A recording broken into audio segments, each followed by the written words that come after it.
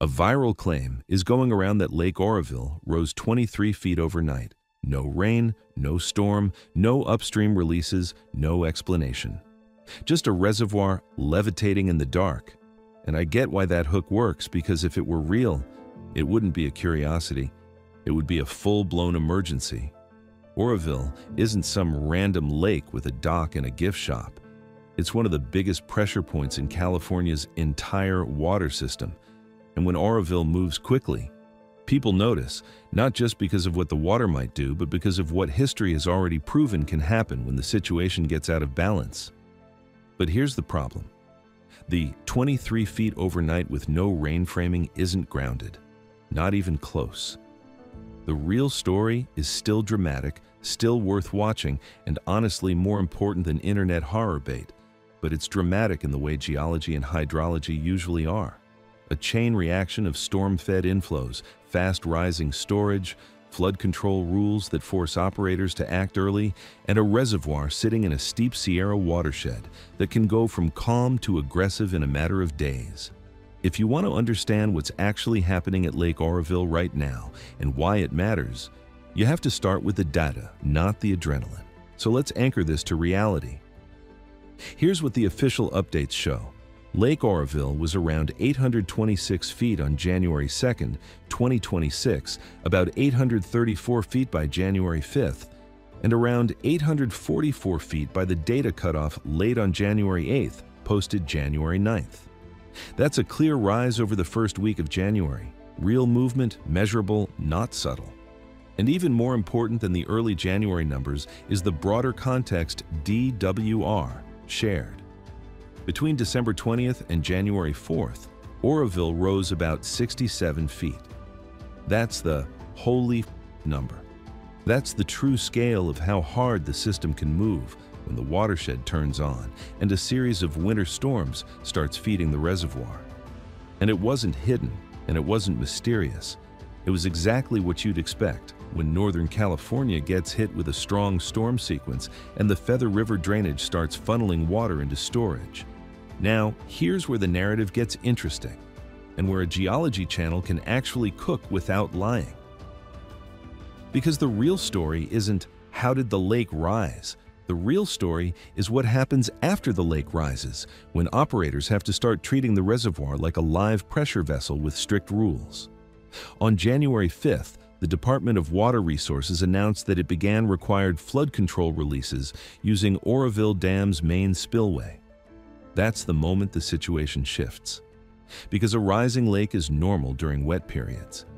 But the transition into spillway releases is where the balance becomes fragile, where decisions get time-sensitive, and where the system stops being a passive container and starts acting like a controlled machine. And at Oroville, the word spillway is never just a word, it's a trigger. You don't even have to explain 2017 in detail for people to feel it, but we're going to, because this is the psychological fault line running underneath every Oroville story. In February 2017, heavy inflows pushed Oroville toward capacity. Spillway flows began, damage formed, erosion became a crisis, and the situation escalated into an evacuation affecting around 188,000 people downstream. That event carved a memory into Northern California that doesn't fade. When the public hears Oroville plus spillway plus rising water, their nervous system doesn't wait for a technical briefing. It jumps straight to the lived footage sirens, traffic, midnight anxiety, families grabbing what they can, and that feeling of, if this dam fails, there is no second chance. That's why misinformation spreads so easily here, because it's not being planted into an empty audience, it's being planted into a community already primed by trauma. We're not doing fantasy, we're doing reality. Then you pivot into the real physics of why reservoirs rise fast, why the lake can jump week to week even if it doesn't jump overnight, and why the timeline matters more than any single dramatic sentence. Because what you're actually watching at Oroville isn't a mystery event. You're watching a system respond to pressure. Let's break down the mechanics because this is where the geology and hydrology become the real main character. A reservoir doesn't rise because it's raining on the lake. It rises because it's raining or melting across the entire watershed feeding it. Oroville's watershed is essentially an enormous funnel. It takes precipitation spread across mountains and valleys and converts it into runoff that concentrates into river channels. And when the ground gets saturated and the storms arrive back to back, the runoff response accelerates. The watershed stops absorbing water and starts shedding it. The rivers stop rising gradually and start pushing volume. That's why it's completely possible for a reservoir to rise quickly even when the sky above the dam looks calm. You can be standing at Oroville under quiet weather while the watershed upstream is actively delivering storage like a conveyor belt. And then comes the second piece that makes Oroville dangerous in a unique way flood control rules. Oroville is not just fill it and chill. Between fall and spring, the reservoir is operated under a flood control diagram, meaning a portion of its storage space has to remain available to capture future runoff so downstream communities aren't slammed by uncontrolled releases. In other words, operators have to think ahead. Not what is happening today, but what is arriving next because if a new storm shows up while the reservoir is already too high, your options collapse. You either release water aggressively into a river system that may already be stressed, or you risk losing your buffer entirely. Flood control space is like oxygen in a fire. You don't notice it until you're out of it. That's why early releases happen, and this is important. Releases aren't automatically a sign of failure. They're a sign of the system doing what it was designed to do. The scary part isn't the existence of releases. The scary part is when the required releases collide with downstream limitations, ecosystem impacts, infrastructure concerns, and public trust. Oroville sits in the middle of all of that. Now, let's take it one level deeper, into the geology angle most people never talk about. A reservoir isn't just water sitting in a bowl. It's water interacting with rock, soil, sediment, slope stability, and engineered structures anchored into the earth. When the water level rises fast, you change the stress distribution on the reservoir banks.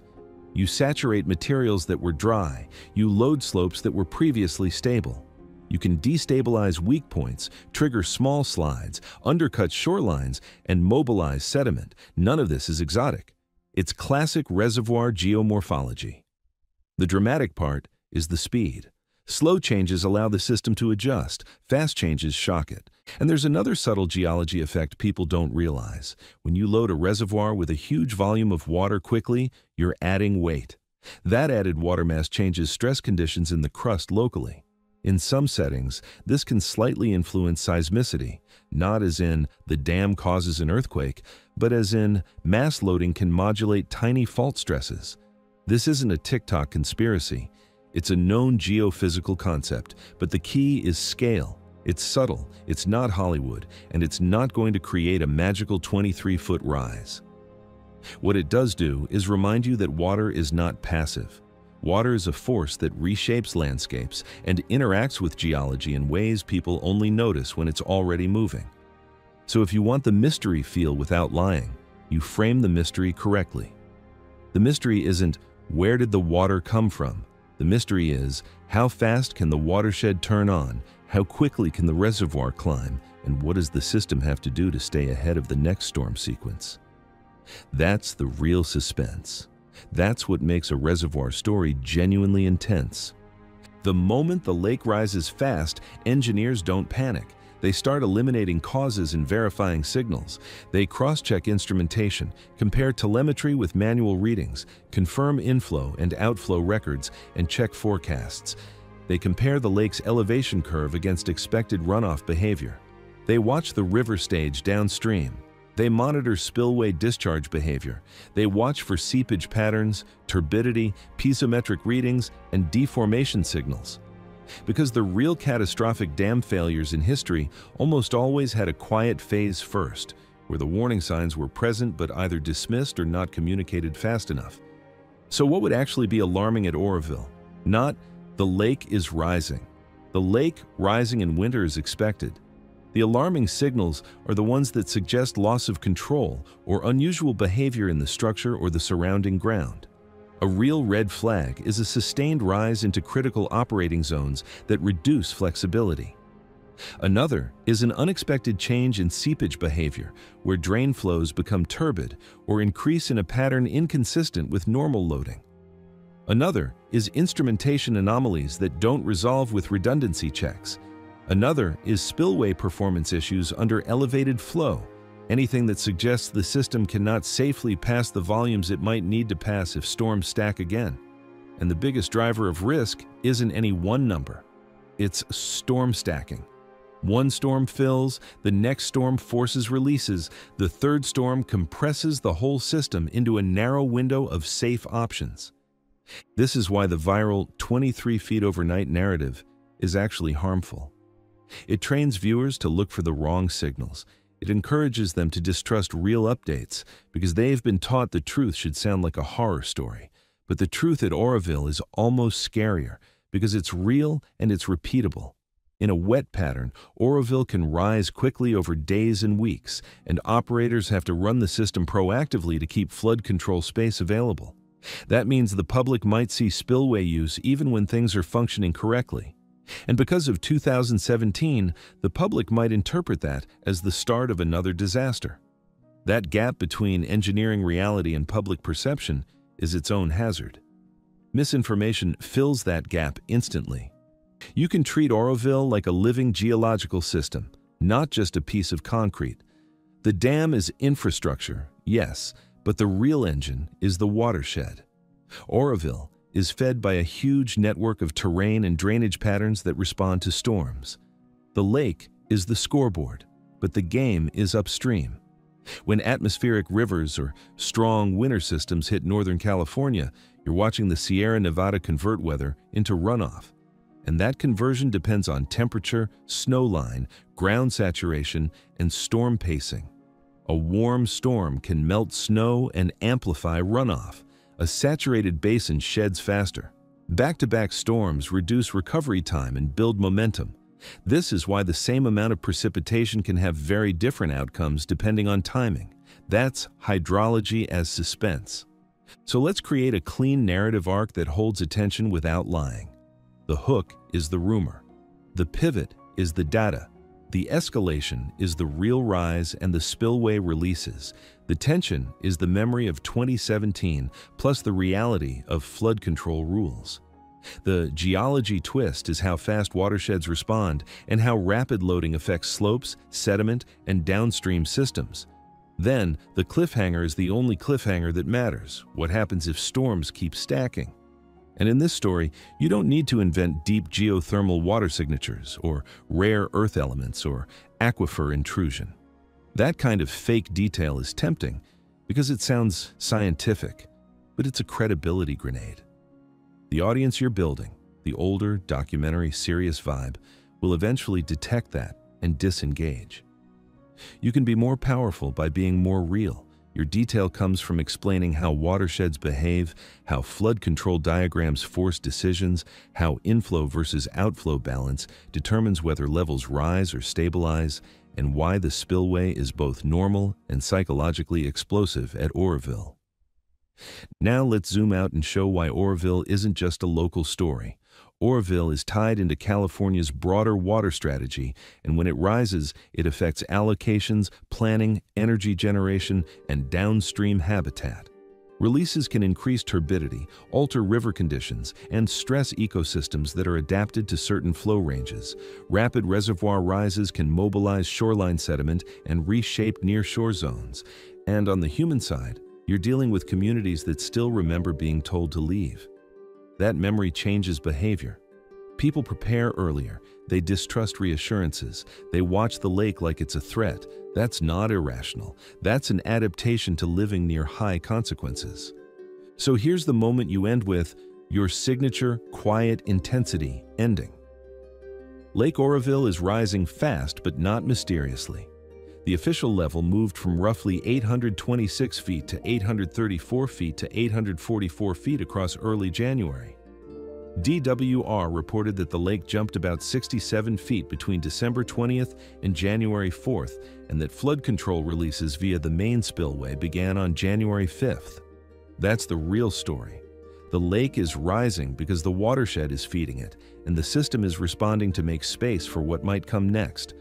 The question isn't whether the lake is rising. The question is how the system handles the next storm sequence, how quickly it can create buffer space without stressing the river downstream, and whether the public can trust the process enough to stay calm when the numbers move. Because in California, you don't need a conspiracy for things to get dangerous. All you need is momentum, a wet pattern, a saturated basin, a fast climb, a forecast that won't stop, and a reservoir with a history that makes every decision feel like a countdown. If you want grounded coverage of real geological and natural hazard events, without the fake panic, without the clickbait science, subscribe. And if you're anywhere near the Feather River system, tell us what you're seeing on the ground, because a reservoir tells one story with numbers, but the landscape downstream tells the rest.